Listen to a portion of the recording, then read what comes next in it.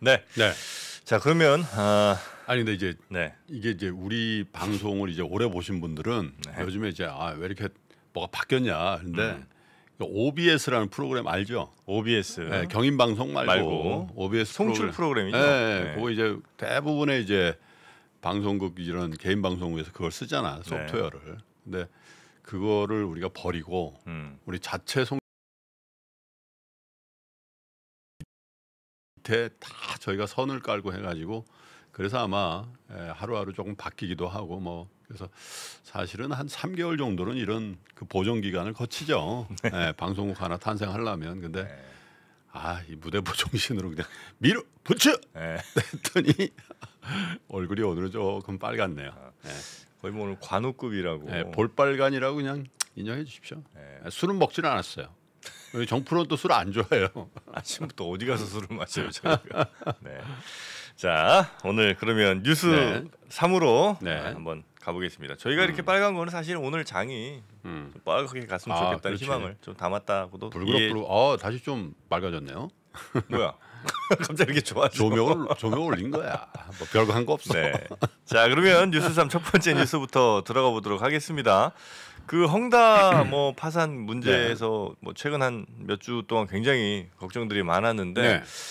어 이게 중국 내 고질적인 이 부동산 어, 문제가 중국 경제 전체의 시한폭탄 될 수 있다 이런 분석이 나왔다고요. 글쎄 우리 애널리스트들도 헝다 자체로는 이제 주가에 반영된 것 같습니다. 네. 그런데 이게 이 부동산 문제의 구조적인 어떤 그 문제들이 불거져 나오면서 중국 경기를 침체시킬 수- 가능성은 열어둬야 됩니다. 뭐 그런 얘기를 한 것 같은데 CNN에서 유령 도시들 헝다 위기 수박만하다라는 중국 빈집들을 조명하다 이런 어허. 특집 기사를 냈는데 네.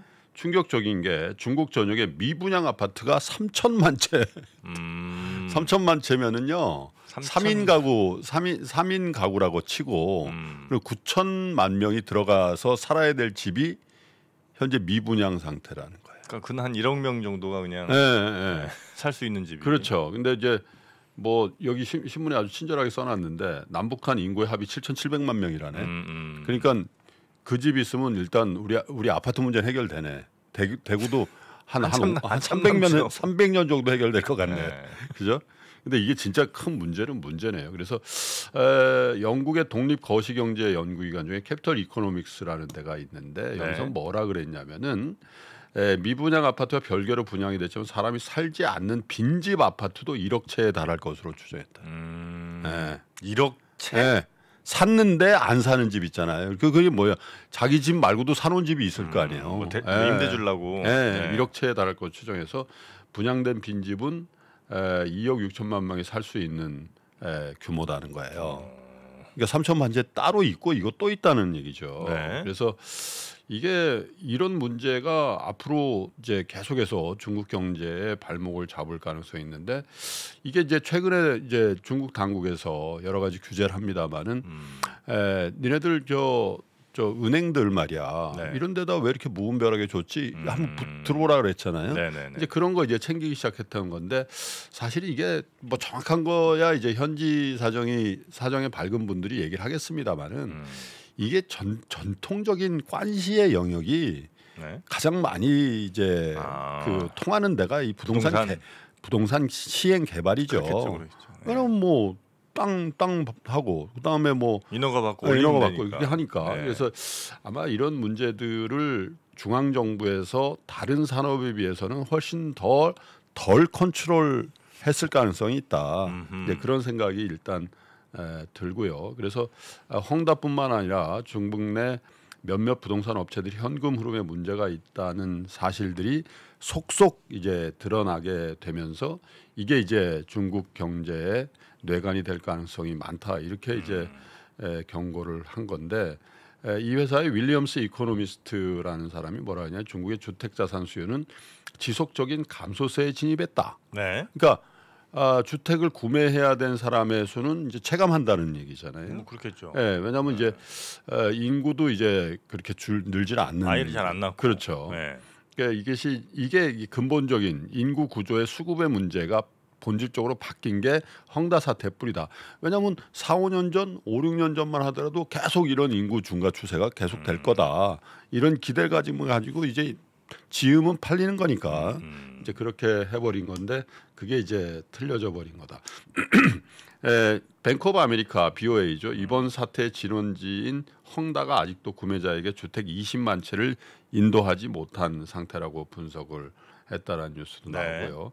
에, 반면에 중국 인민은행 관계자는 중국 내 부동산 시장의 토지 주택 가격과 기대치는 안정적으로 유지되고 있다라는 게 또 중국의 에, 그 당국의 얘기이기도 한데 글쎄요 이제 중국이 이제 에, 시장 경제를 일부 추- 수용을 하고 있습니다만은 정치 체제 전체주의 체제를 갖고 있기 때문에 이거를 그냥 그 자본주의 시장 경제 체제의 어떤 에, 부동산 문제하고 똑같은 수준으로 보기는 어려울 수도 있습니다. 네. 근데 충격적인 건 어쨌든 미분양이 3천만 채고 음. 그 다음에 분양이 됐는데 사람이 안 사는 에, 집은 1억 채다라는 거는 네.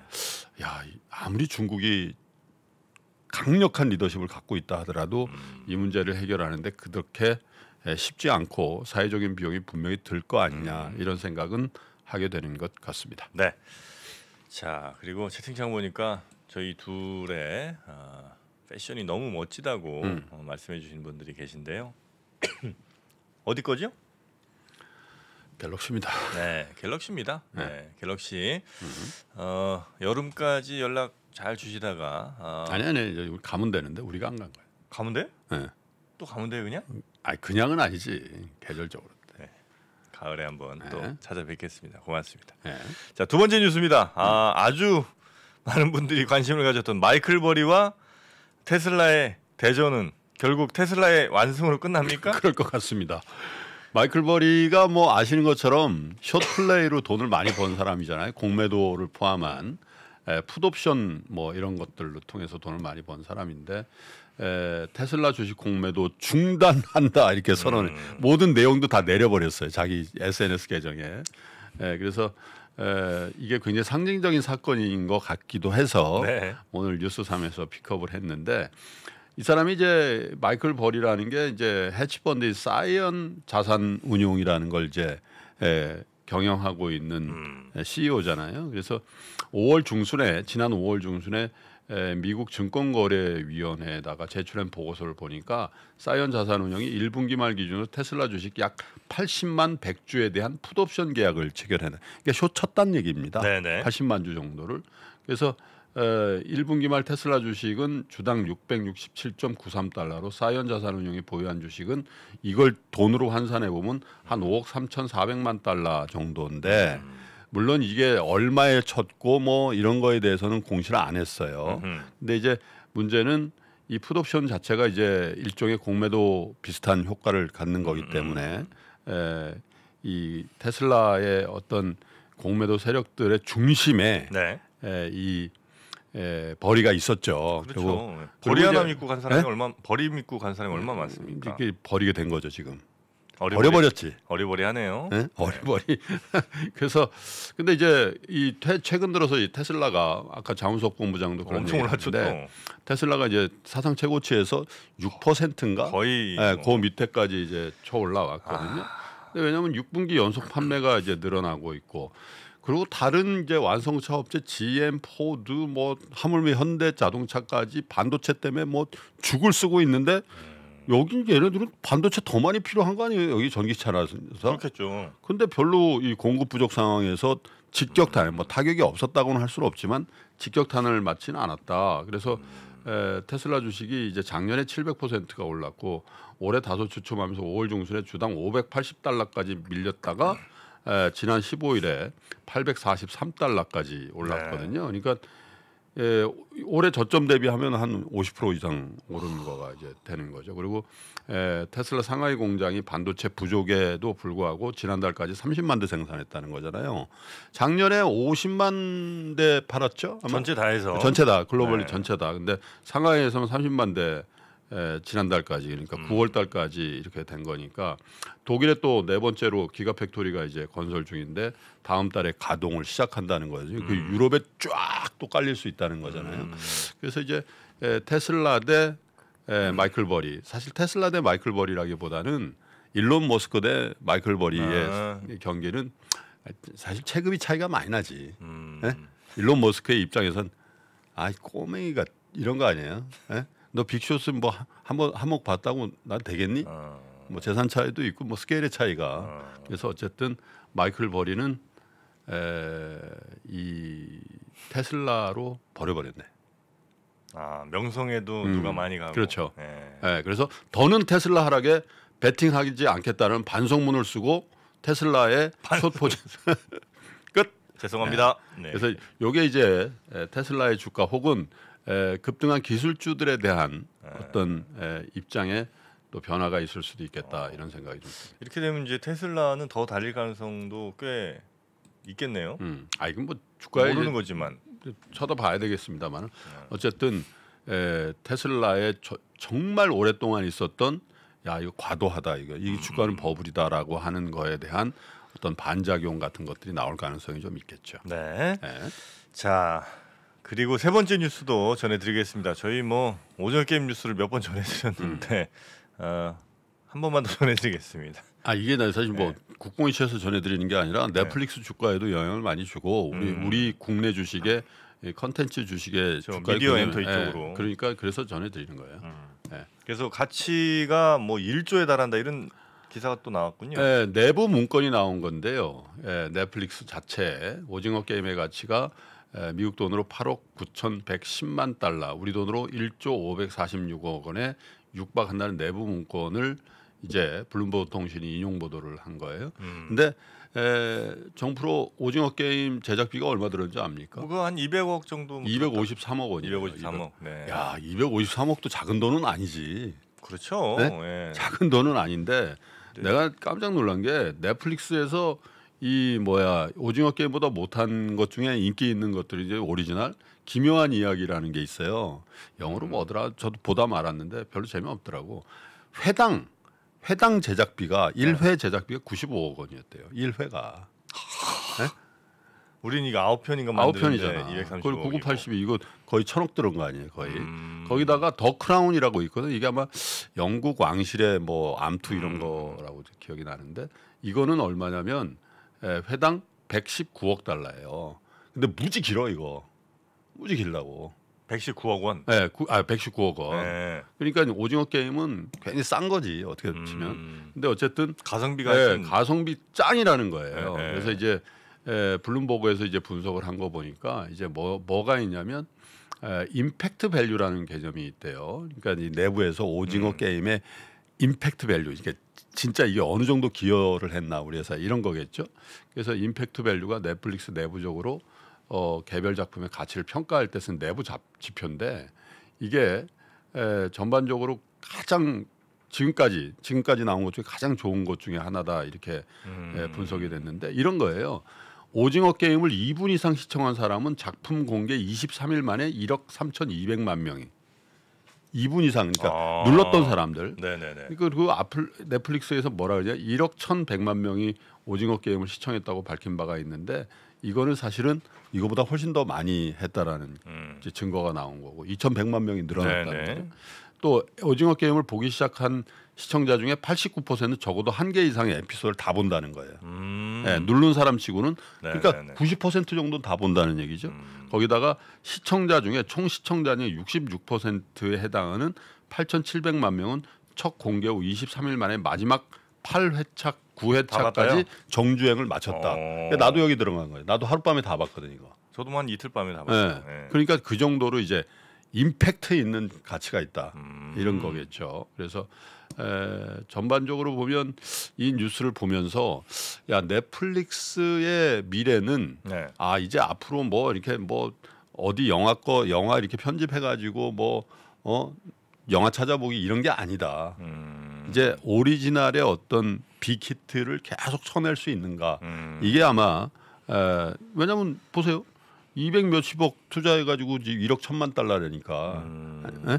그러니까 한 일, 뭐 1조가 넘는 네네네. 넘는다는 거 아니에요. 그러니까 이게 에, 가성비로 따지면 뭐 얼마입니까? 이게 50배입니까? 50배 이상 50배 나온 나오네. 거잖아요. 근데 50배짜리 그 비즈니스가 없잖아요. 음. 예? ROI 50배짜리가 어디가 있어. 그러니까 네. 이런 것들이 계속 반복이 되면은 어 네이버의 어떤 어 주식으로서의 가치가 계속 올라가는 거다. 이렇게? 아죠 넷플릭스요? 넷플릭스에 왜 그러세요? 오늘? 아, 이게 주말에 너무 쉬셨어요? 너무 신기하지 너무, 너무 일했지. 너무 어제도 했잖아요. 설마. 맞네. 그래서 넷플릭스의 어떤 주가의 흐름도 조금 네. 다른 견지에서 좀 봐줘야 될 것 같고 음. 거기에 따라서 저는 이제 확신하는 게 오징어 게임의 제작사 같은 이런 big hit가 음. 계속 나올 거다는 거예요. 그래서 주말에 마이네임 봤거든요. 마이네임? 봤어요? 안 봤어요. 재밌어요? 오징어 게임 아 이거 스포잖아. 아니 그러니까 그 재미의 강도가 오징어 게임 급입니까 아니면 그거보다 약간 못해 아니면 좀 더 나아요? 여하튼 장르는 달라요. 음, 별로구나. 한소희 씨인가? 그 있잖아요. 한소희 씨. 한소희 씨가 네. 에, 여하튼 부부의 세계. 예, 네. 거기 거기에 이제 아주 아주 그 강한 캐릭터로 나오는데 음. 더 이상 얘기하면 스포라고 또 뭐라 그러니까 보세요. 재밌어요. 근데 네. 그 문제는 뭐냐면 그런 류의 빅히트 작들이 제 생각에 나온다. 왜냐면 이런 거예요. 에, 가수하고는 다르다는 거죠. 나는 BTS가 나왔다고 해서 BTS급의 음. 그런 류의 뭐 이 보이그룹 걸그룹이 계속 나온다. 네. 난 이렇게는 얘기한 적이 없어요. 근데 드라마는 나올 가능성이 많다. 왜 그렇죠? 왜냐하면 드라마는 사실 이 우리나라의 그 걸출한 작가군들이 분명히 있고 음. 또 스타급 PD들이 분명히 있잖아요. 음. 예, 그러면 여기다가 돈을 더 넣고 그러면 네. 물론 이제 그게 뭐 비례적으로 나오는 건 아니지만은 어쩌다 하나 얻어 걸리는 게 아니라 음. 지금까지 드라마를 에, 기획하고 각색하고 연출하는 그 아, 노하우가? 축척이란 말이야. 음. 집단 지성이라는 거지 나는. 음. 근데 가수 이런 가수 이런 분들은 어떻게 보면 정말 탤런트 있는 누가 하나의 음. 그거 아니에요. 네, 근데 네, 이제 네. 예, 드라마는 이제 집단으로 뭘 하는 작업이기 때문에 음. 그 집단 지성이 우리나라 드라마의 제작 역량이라는 거고 음. 그 제작 역량의 총화로서 예를 들면 오징어 게임 같은 류의 빅히트작이 넷플릭스를 통하든 아니면 음. 디즈니를 통해서든 계속해서 나올 가능성이 음. 많다. 그리고 이제 아마 드라마 업계에서는 뭐 제가 제가 상상하기에는 저기서 했어? 어, 내가 더 잘하는데 원래 음. 이런 얘기들을 굉장히 많이 하지 않겠어요. 네, 네, 네, 그래서 네. 에, 그런 류의 어떤 에, 이런 에, 큰 변화. 그래서 이제 한국의 에, 제작 능력을 에, 증명받은 에, 스튜디오들에 대한 에, 투자는 에, 조금 조금씩이라도 더 관심을 가져야 되는 거 아닌가 그런 생각을 합니다. 네. 자 이렇게 어, 세 개의 뉴스 전해 드렸고요. 어, 마이네임 재밌다고 지금 사과하시렵니다 지금. 재미 있다는데 내가 재미 다 봤다니까 하룻밤에 다 봤어요. 아 그렇습니까? 네. 네. 8회인가? 뭐 그런 것 같은데. 네. 아 약간 근데 진짜 어, 하드하더라. 하드예요 또. 음. 어, 하드. 알겠습니다. 자, 아 그리고 이게 액션이 음, 괜찮아요? 한소희 씨가 직접 했다는데 잘하더라고. 알겠습니다. 자, 음. 마이네임도 어떻게 되는지 한번 저희가 잘 보도록 하겠습니다.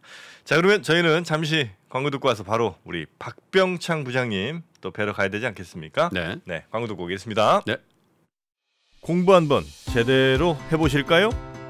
딱 한 달 업종 기초 교육과 매매의 기술을 한 번에 배울 수 있는 올인원 패키지. 업종 분석으로 기초를 다지고 매매의 기술로 투자의 날개를 달아보세요. 자세한 내용은 페이지 2 공지사항을 확인하세요.